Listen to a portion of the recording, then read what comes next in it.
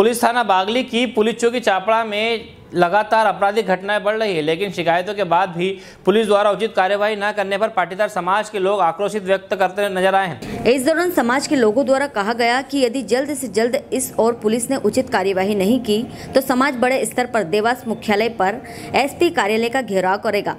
Police चौकी चापड़ा क्षेत्र से अन्य समाज के युवा पाटीदार समाज की लड़कियों को बहला फुसला कर भगा कर ले जा रहे हैं। इसकी शिकायत संबंधित थाने पर की जाती है लेकिन फिर भी इस और कोई उचित कार्यवाही न होने पर इस प्रकार की घटना को अंजाम देने वाले आरोपियों के हौसले बुलंद होते जा रहे हैं। बागली से रवि पाटीदार की रिपोर्ट।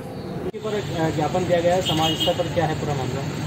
हमने आज यहाँ चापड़ा पुलिस चौकी पर ज्ञापन दिया है पाटीदार समाज द्वारा। अभी 28 तारीख को एक नाबालिग लड़की चापड़ा गाँव के अंदर से कोई उसको भगाकर ले गया है।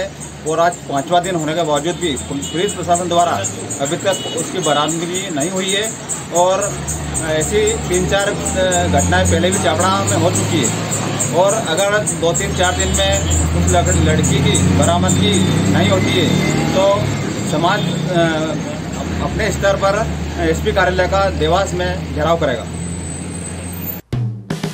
हेलो फ्रेंड्स आप देख रहे हैं हमारा channel S W twenty four news हमारे सारे वीडियो सबसे पहले देखने के लिए आप हमारे चैनल को सब्सक्राइब करें और पास में लगे बेल आइकन को दबाना बिल्कुल भी ना भूलें।